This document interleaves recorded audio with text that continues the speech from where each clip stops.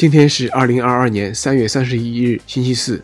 今天也是三月份的最后一天，明天就是愚人节，这也将会迎来万众期盼的《天赐的声音》第三季第三期。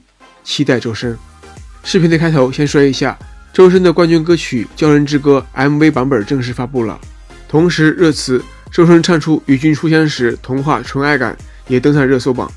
这首歌曲是电视剧《与君初相识》的片尾主题曲，该电视剧如今也接近收官。而歌曲《鲛人之歌》MV 也算是对该剧美好时光的纪念吧。说到歌曲，接下来我们又要提到的就是2021年微博娱乐白皮书。此白皮书囊括了明星片、电影片、剧集片、综艺片、纪录片片和音乐片。就目前为止，周深还没有真正意义上涉足参与影视剧，所以周深主要出现在综艺、纪录片和音乐片中。周深常驻的综艺《创造营2021》。在二零二一年热门网络综艺 TOP TEN 中排名第二位。在纪录片中，周深飞行加盟的《念念青春》也被提及。当然，以上两项应该算是团体性名誉，而最后一项的音乐片才是周深的主打。首先，周深的歌曲《光亮》获得了微博二零二一年度十大歌曲，同时还获得了微博二零二一年度十大 MV。另外，周深的歌曲《望》也获得了网易云音乐二零二一年度音乐奖项第五。而且在微博音乐词云中，周深的名字同样也是占有一席重要之地。恭喜！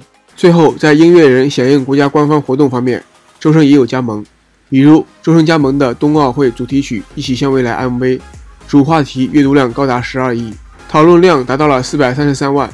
当然，这些歌曲同样也是集体荣誉。不过，能够加盟这样的歌曲 MV，意义重大，已经不是流量所能够企及的了。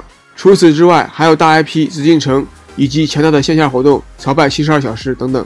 而周深的年度歌曲《光亮》就是来自大 IP 紫禁城专辑。这些国家级的音乐活动能够参与，本身就是极大的肯定。而在过去的2021年，也包括今年，周深在国家活动方面真的是得到了很多的关照。可以说，周深在2021年是持续大火的一年。除了火，同样也获得了各界的肯定，尤其是官方的加持，让周深走得越来越稳，越来越好。最后，在音乐片的行业寄语中。周深有心的使用了手写体，不仅能够显示出周深的谦卑，同时也是基于周深自己职业的一个大大的重视和敬畏。再次恭喜周深！周深的《鲛人之歌》MV，你觉得如何呢？周深的歌曲拿下三项年度大奖，你如何评价呢？